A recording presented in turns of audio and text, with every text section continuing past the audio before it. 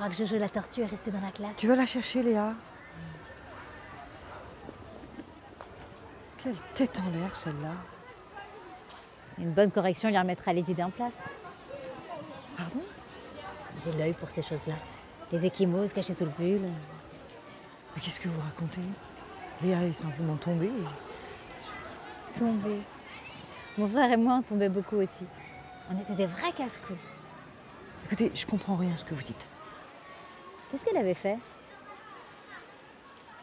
Elle chantait trop fort? Elle n'avait pas rangé ses jouets? Elle avait plus faim? Elle avait fait pipi au lit? Elle n'arrêtait pas de pleurer? Sa tête vous revenait pas? Vous savez pas de quoi vous parlez. Bah, Expliquez-moi.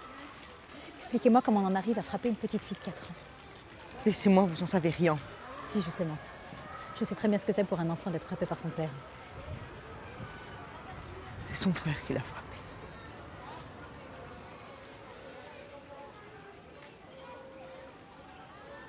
C'est son frère.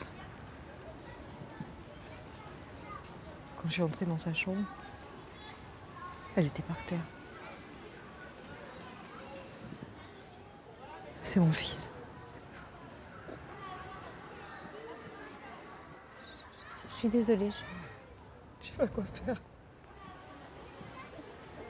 Venez avec moi.